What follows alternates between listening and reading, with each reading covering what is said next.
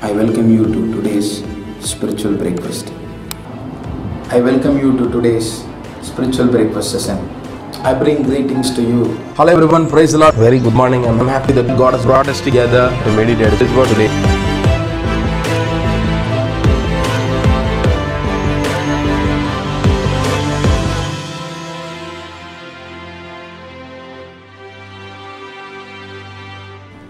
Hello everyone, praise the Lord. Very good morning. I'm happy that God has brought us together to meditate His word. Even today, as we uh, may, even today as we meditate His word, may God speak to us through this spiritual breakfast session. Today's meditation is from the book of Acts, chapter 15, verse 41. He went through Syri- Syria and Cilicia, strengthening the churches. We have been meditating about Apostle Paul. Yesterday we saw that Apostle Paul and Barnabas they had dispute and uh, they they departed company. We meditated that uh, the, that's how we should not be and uh, we should be very careful that even a simple thing can bring division among us. So after that Bible says uh, Barnabas took Mark and Paul uh, took Silas and left. And it, the verse we saw, see that uh, we read says Paul went to uh, Syria and Cilicia to strengthen the churches.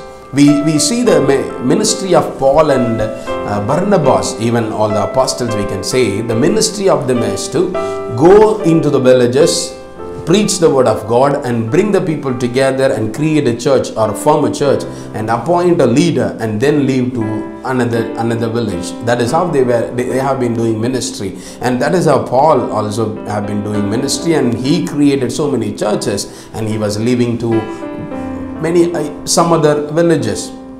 And he did not stop there after establishing all the churches he went around one more time to see how they are doing and to strengthen them in the Lord. And what do we learn from it today? I have heard so many people say that why should I go to a church? Why why should I why should I be in a church? I Bible says I am the temple of God. Why should I go to a building which has been called a church, the temple of God? I am the temple of God. Will not God accept my praises, worship if I sit inside my home and worship? I have heard so many people say that. Remember, this is what happens inside the church. When you come into the church, you are strengthened in the Lord. You are you are you are educated in the Lord uh, through so many programs you are you are you are kept busy with god with god and also uh, the church enables you and equips you and edifies you and it strengthens you. That is what paul was doing. He he went around and gathered the church again and he strengthened them. My dear brothers and sisters do not say that i don't need to go to church.